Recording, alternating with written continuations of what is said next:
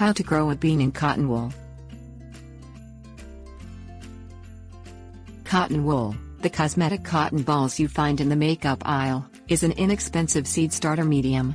Not only does it hold moisture, it is also well aerated, providing the bean the humidity and oxygen it requires for sprouting. The germination method also makes transplanting simple. Pick up the plant from the dish where it developed and move it to a hole outside. The roots continue to develop underground, still attached to the cotton until the material decomposes.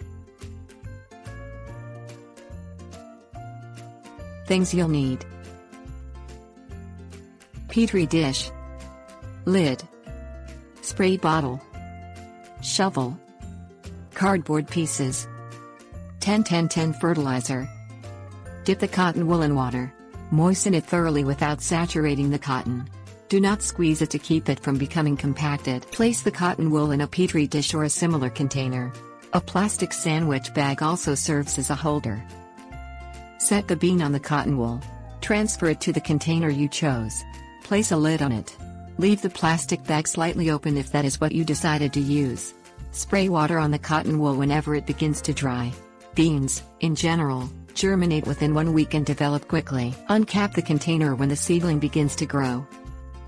Dig a hole in a site clear of grass and weeds. Select a planting area exposed to full sun. Plant the bean seedling in the hole. Do not remove the roots from the cotton wool. Water the plant. Place tall cardboard pieces, or another shield, around the plant to protect it from the direct sun.